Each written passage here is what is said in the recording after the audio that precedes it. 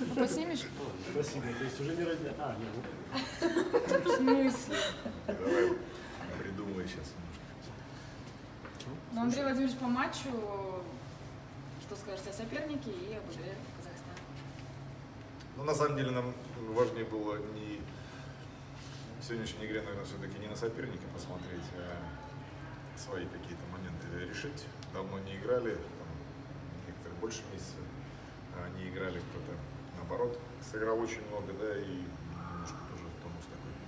Поэтому, ну, игра, наверное, такими волнами была, когда нам а, удалось а, свинчивать темп, когда в общем-то, ребята, еще раз говорю, темп этот поднимали и играли в хоккей, который мы хотим играть, то, в принципе, не- не- неплохие были моменты, преимущество было, э, еще раз говорю, волнами. Все, вся игра была в нужном удалении, и ну, Нинштейн, наверное, не очень хорошо начал. А что скажете по булитам? В плей-офф КХЛ не было булитов, но на чемпионате мира не есть. Да, да, кстати, это, это вопрос такой.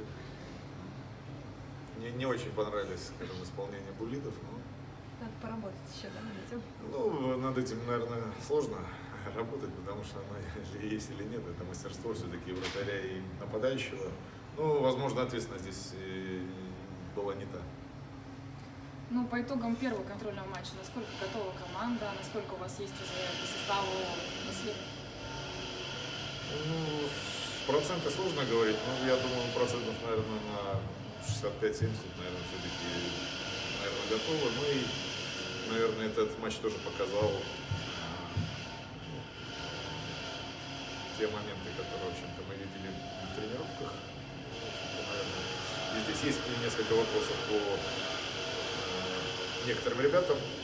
Завтра мы еще посмотрим, мы уже после игры примем окончательное решение. Ну, наверное, процентов на э, 85, наверное, как бы состав мы уже знаем. 15 процентов еще, общем-то, есть. Приехал Метальников э, Мессина. Э, Только что мы с ним поговорим. Но, но мы по- подумаем, завтра будет он играть или нет. Он рвется, но, наверное, наверное, мы его э, возьмем, потому что чтобы окунулся уже, переключился, скажем Да. так, из э, а, эйфории, от атмосферы эйфории, от э, первого места в чемпионате ВХЛ, э, наверное, в сборную. Скорее всего, что завтра будет играть. Насколько важна эмоциональная победа в товарищеском матче? Ну, наверное, ну, конечно, проигрывать никто не любит. Проигрывать никто не любит, но я не думаю, что сильно как-то она влияет на, на- что-то. А Южная Корея следующий соперник ну, в товарищеском матче, и вы наверняка знаете, какие ведь решают пропустили там за... Можно даже, если так честно вспомнить, как, кстати, наши, с- наши великие с Россией играет, это очень не очень. С Олимпийских были? А, Молодежь. все грустно, 0-5 было. А? Ну, Грустно. как бы. Нет, я просто к тому, что товарищеские матчи, они для того и существуют. Я, я их не люблю называть товарищескими, потому что это контрольные матчи.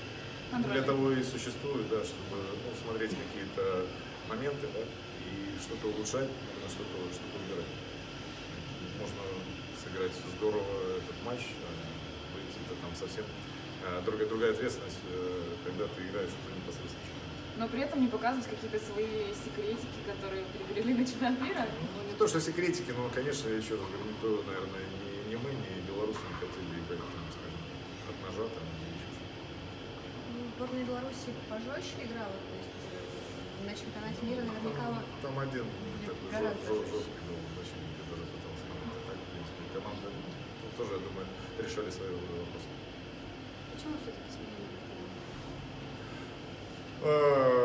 Э, Хенрик, в общем-то, посоветовались с тренером с нашим по, вратарям. В общем-то, решили, что, наверное, м, достаточно э, уже было овертайма и игры, и немножко он там э, почувствовал, э, скажем, дискомфорт. э, Поэтому решили поставить Берца. И я думаю, что, скорее всего, завтра тоже он будет играть в матче. Все, спасибо. Белорусы, кстати, сделали то же самое. Да. Всё, спасибо. Но не сегодня уже. Не сегодня. Да. Не знаю. Перед чемпионатом что будет? Егор, А, быстро Да я знаю, что есть. Я знаю. Понимаем.